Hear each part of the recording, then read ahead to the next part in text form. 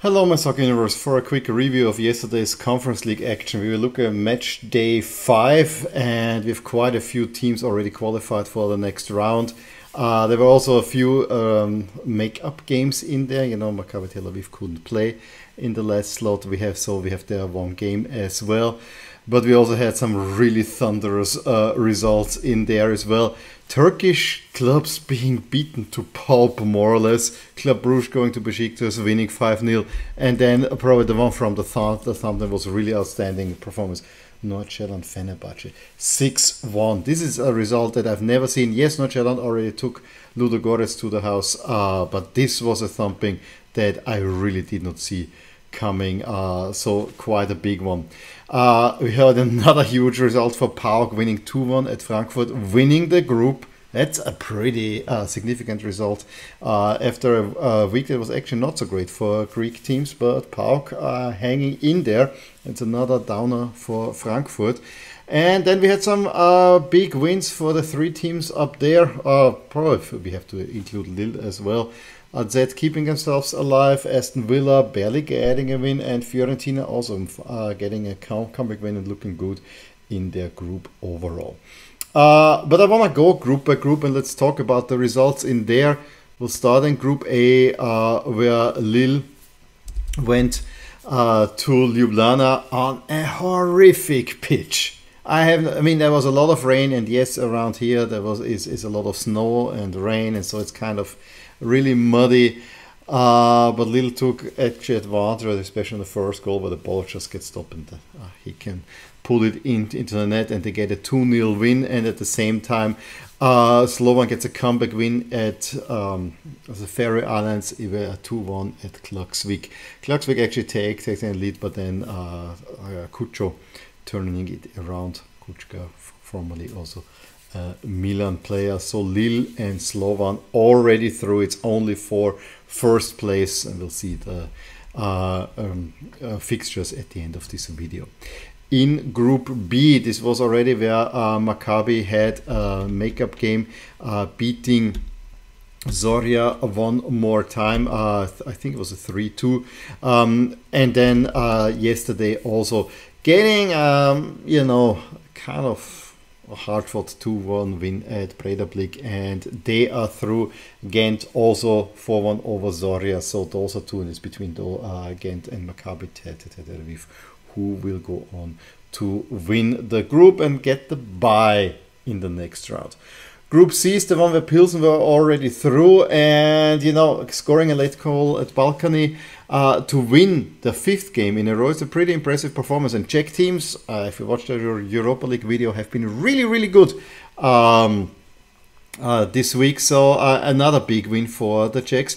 And Dinamo gives themselves a huge shot in the arm by winning 2-0 at Astana. And you know, for all what we've said that Zagreb is not doing well, you know, losing to Ballkani and uh, also twice to Viktoria Pilsen. Now um, six points.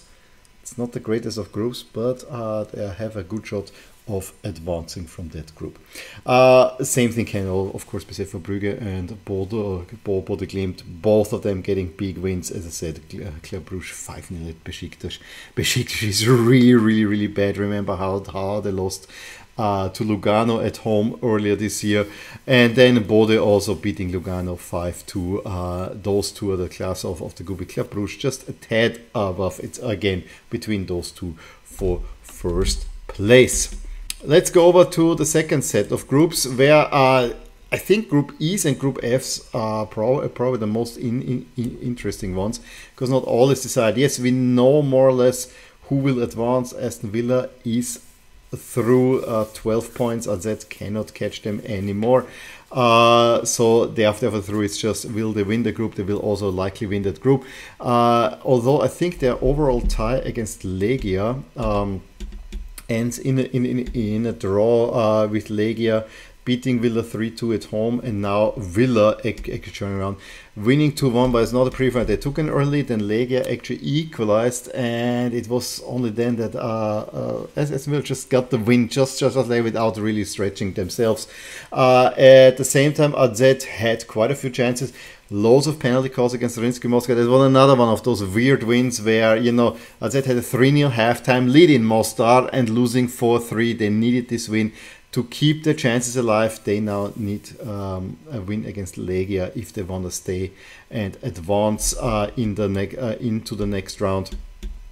Uh, they have already the, they have won the home home game and the way they need to also win, but Legia have won all of the home games, so not an easy one there for uh, Z. In Group F, huge win for Fiorentina again coming again back from a deficit looking really good, uh, having already qualified for the next round. Now it's for the bye. Uh, it's between Ferencvaros, who actually get a very late uh, win against Čukarički. Čukarički had a beautiful goal to open the scoring, but Ferencvaros late turns it around uh, and wins it. And as I said, Genk lo- losing, it's between Ferencvaros and Genk, uh, who will advance, but uh, Ferencvaros also have a shot of winning that group uh, if they beat I think they have the last game against Fiorentina. Um, yes, at uh, at home to Fiorentina. If they beat Fiorentina at home, they might be through.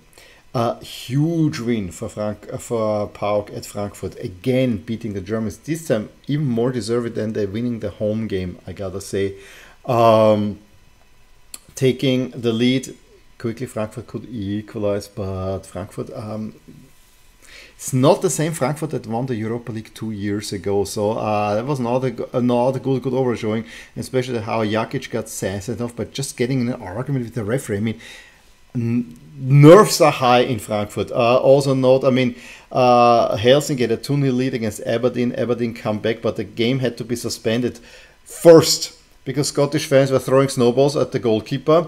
Then the whole field needed to be cleared from snow. Then again, um, s- snowballs were thrown. This took forever to get finished, this game. So, uh, rather interesting one there. And then we have Group H where it's all open. But if you look at goal difference, Nordsjælland have 17 to 6 because they beat already Ludogorets home 7 1 and now they beat Fenerbahce 6 1. Vera may have played a little uh, role there, but no, not are really, really, really good in there.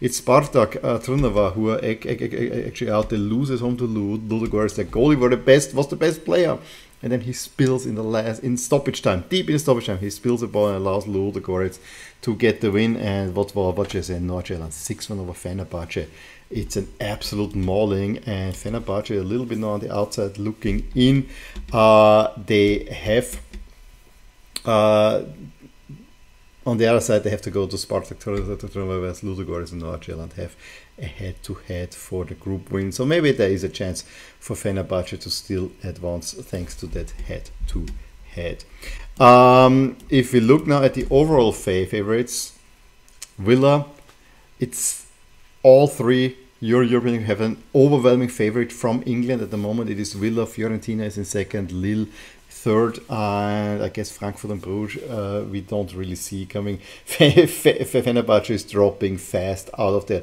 But again, it will be interesting whoever will make it into uh, the conference from, from, from the Europa League. There's some big teams with Ajax, uh, USG in there. Um, this will be interesting. Uh, Rangers potentially, you know, there are some teams that could make some trouble. And we've talked about upcoming games, but here we have the final group games: Legia against AZ. That is really for advancing. Uh, Legia need to avoid defeat against AZ. Uh, then we have Ferencvaros against Fiorentina for the group win, but also Ferencvaros needs to get something out of there because if Genk beat uh, Čukarički, then they're out. Uh, with everything decided in the next group, and then we have Ludogorets against Nordsjælland. It's for the group win, and Fenerbahce probably will beat Spartak Trnava, which actually gives them a huge shot of uh, advancing. We saw already they have the biggest chance of advancing there.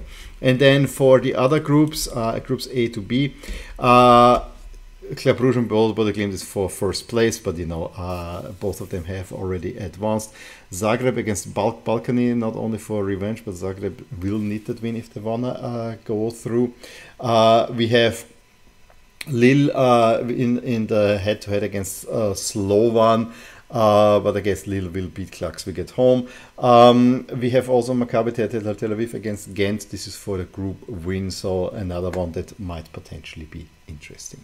So yeah, Conference League is shaping up quite quite nicely. We have some big teams in there. I really hope there will be some other big names dropping from the Europa Europa League that we get an exciting uh, knockout phase there as well for Europe's third best comp competition. In any case, let me know who you think will win it, what you thought about the results yesterday.